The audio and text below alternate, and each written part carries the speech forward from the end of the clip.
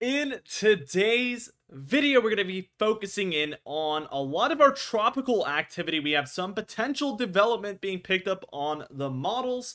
We will also be going over the entire pattern for the lower 48, so rest assured this video will be for everyone, of course, but there is just some elevated chances of tropical activity that we need to discuss today. So let's just dive into things and we will be taking a look at our normal European model run first things first, and then diving a little bit more into the tropical side of things later on. Although we do see some of it here on this model, so we will really dive into things pretty quickly. Uh, now, as we just keep going here, uh, I want to take us straight towards tomorrow afternoon to start things out. And what we're seeing here is plenty of activity still ongoing from this storm that we've had ongoing for quite a while uh, for a lot of your deeper south, southeast, and mid Atlantic areas. I'm sure a lot of you can't wait for me to stop saying that probably at this point, uh, as I've said that for so many days now. Uh, we do see that there is a lot of precipitation along the Rockies and Northern Plains as well, kind of all underneath a stronger storm system that is located here in Western Canada. Uh, so that is pretty associated here, I'd say, especially with this area over the northern plains. Again, all of that tomorrow on Friday. Let's just move towards Saturday on the 27th, and we see again the southeast corridor is seeing some storminess, but it has died down quite considerably from its peak. Um, we do see that over the Rockies, and for a lot of the plains, we are continuing to see uh, some thunderstorms firing up as we are kind of in the heart of their thunderstorm season out west.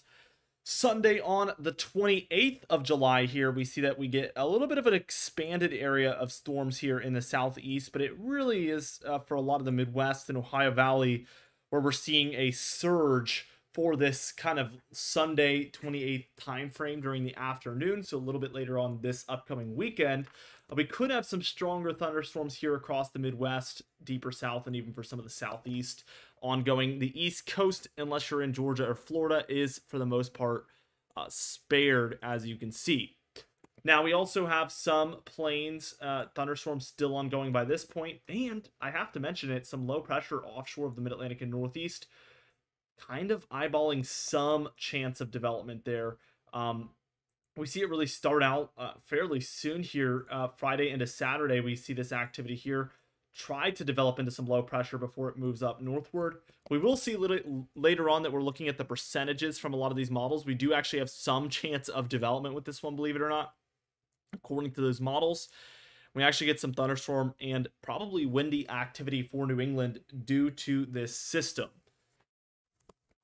Now, as we move towards Monday afternoon on July 29th, what we're seeing here is plenty of thunderstorms all the way from the upper Midwest, Great Lakes, Ohio Valley, southeast here, and surrounding areas. I'd say a lot of areas that are east of the plains here are seeing chances of thunderstorms, and even for some of the plains themselves, chances of thunderstorms will be pretty high for the beginning of next week.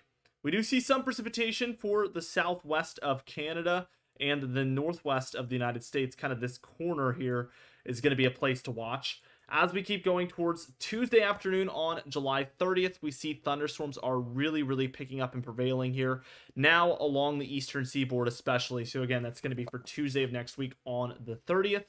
By the time we reach Wednesday here on July 31st, we see these thunderstorms really continuing to take hold for the East Coast. So, again, nothing like what we've been seeing for the past couple of weeks, which has been a little bit more on the extreme side as far as precipitation.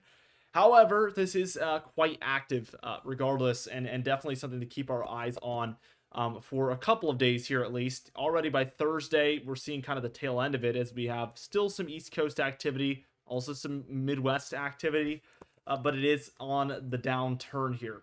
Friday, we're not, not even really seeing it show up anymore. So we have some isolated activity for the Eastern Seaboard, as there always kind of is for this time of year, but nothing in particular. Also, the upper Midwest and Great Lakes seeing some of this thunderstorm activity once again.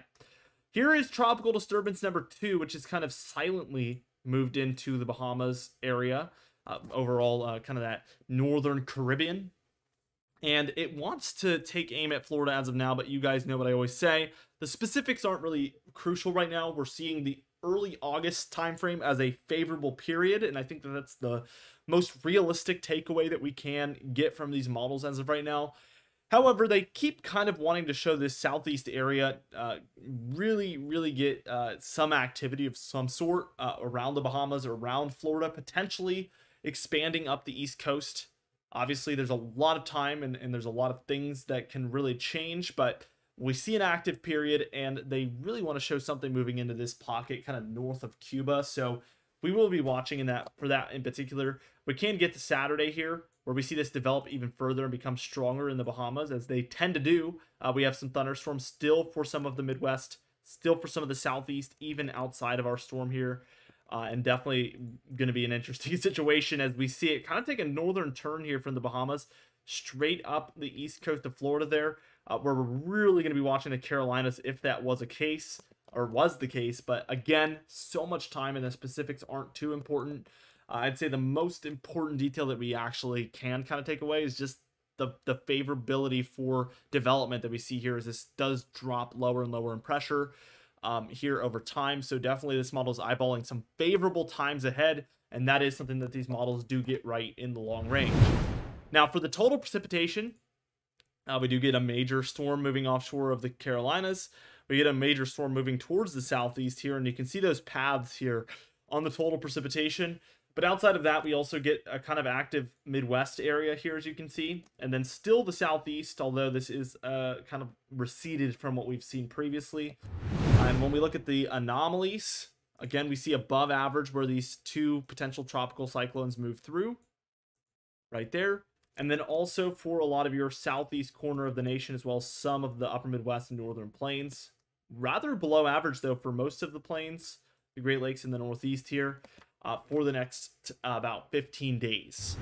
As we take a look here at your European AI model, again, we're going to be watching the first couple of days of August for something to break into the Caribbean here of some sort uh, past our MDR, uh, which is going to be this area here we see many, many tropical disturbances move into this year every year, potentially hundreds some years. Uh, we see just disturbances after disturbances after disturbances moving through here.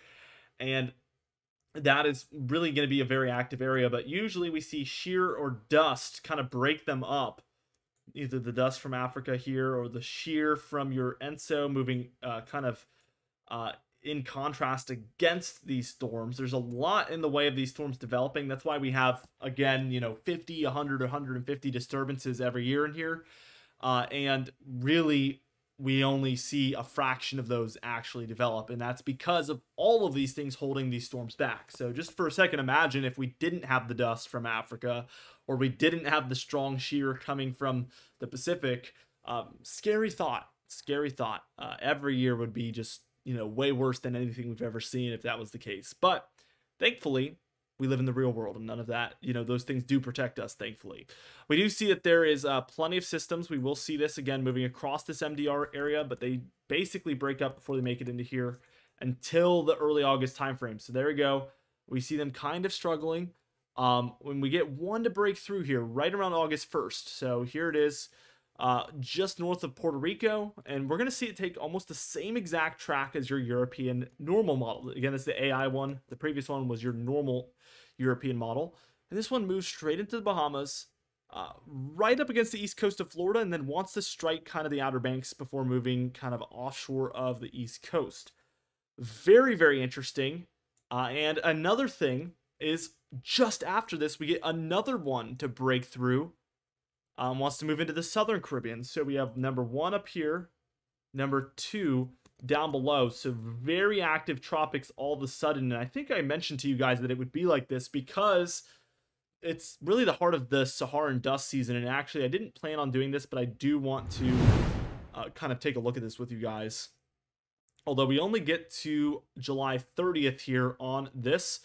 But what we see currently is very strong areas of this dust as you can see in your MDR area. So they can't get into here because there's too much dust in the path that they have to take.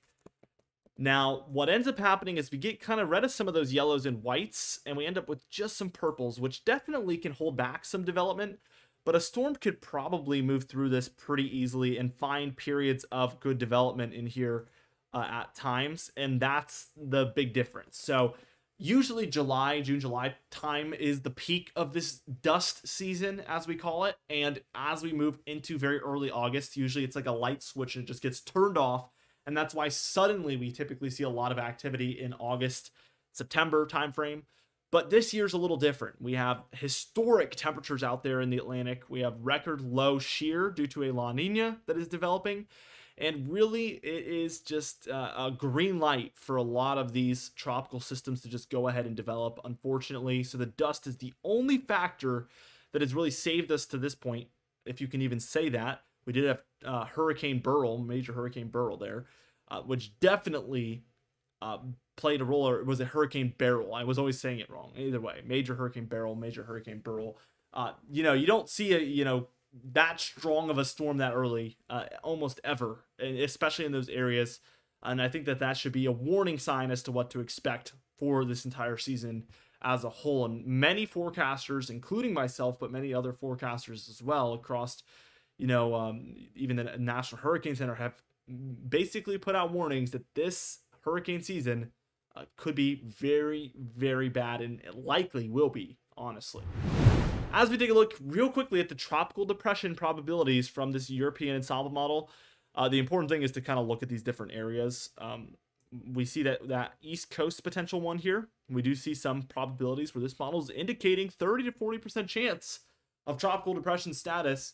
Uh, sometimes it does pick up on some weird things, so take this with a grain of salt, but I think that this does have a little bit of potential.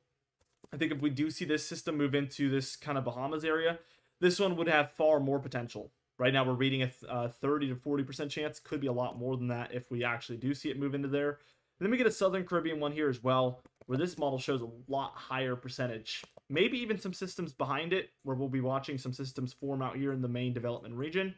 Uh, either way, we can count a handful of potential areas to watch here, whereas just a week or two ago, there was nothing to even look into. So huge, huge shift here in the hurricane season. We're going to keep you guys up to date for the entire season, so be sure to subscribe.